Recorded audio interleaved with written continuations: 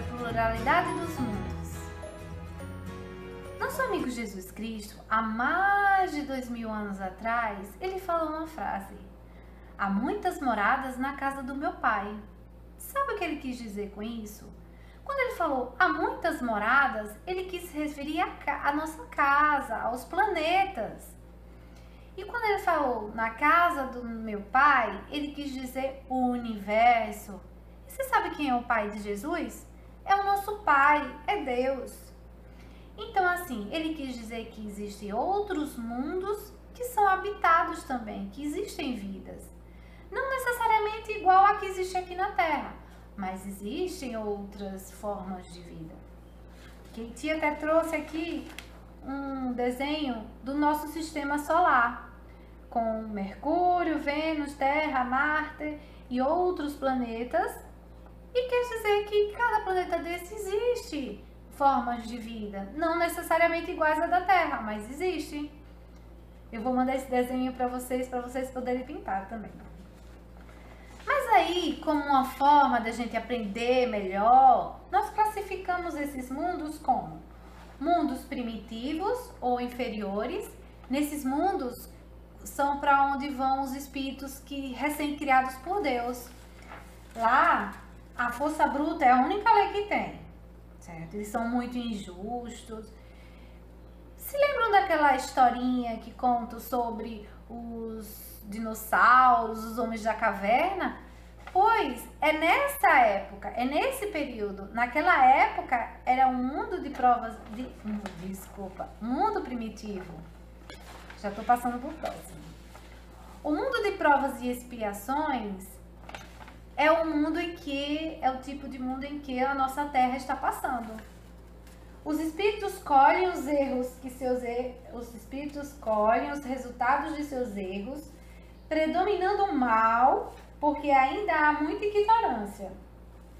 Os seres encarnados têm a oportunidade de apagar o mal que realizaram através de boas atitudes.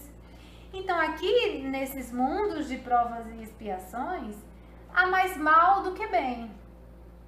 E é o momento em que a Terra está passando, é o tipo de mundo que a Terra está passando. O próximo são os mundos de regeneração. São mundos de transição entre o mundo de expiação e os mundos, e os mundos felizes. É, nesses mundos, os seres ainda se acham sujeitos às leis que regem a matéria. Os espíritos superam as paixões, o orgulho, a inveja e o ódio. Não existe a felicidade plena, mas o início da felicidade. Nossa Terra, ela já está entrando nesse tipo de mundo, no mundo de regeneração.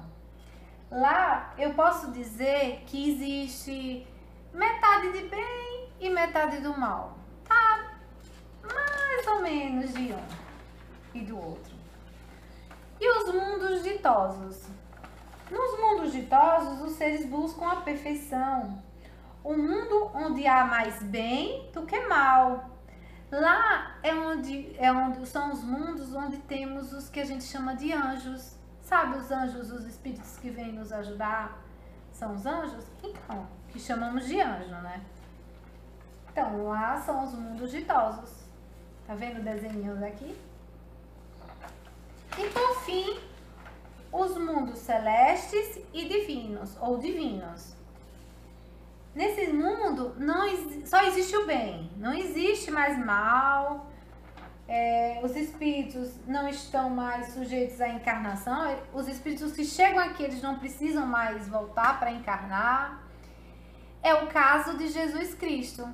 Vocês sabiam que ele foi o único espírito que mora nesses mundos ditosos e divinos, que voltou para o nosso mundo de provas e expiações para poder nos ajudar, ele não precisava fazer isso, mas por amor a nós, ele fez. Por isso que a gente chama ele de mestre, porque ele veio nos ensinar muitas coisas, né? Espero que vocês tenham entendido, crianças. Na próxima aula eu vou trazer um pouquinho mais sobre o assunto e tchau, até a próxima!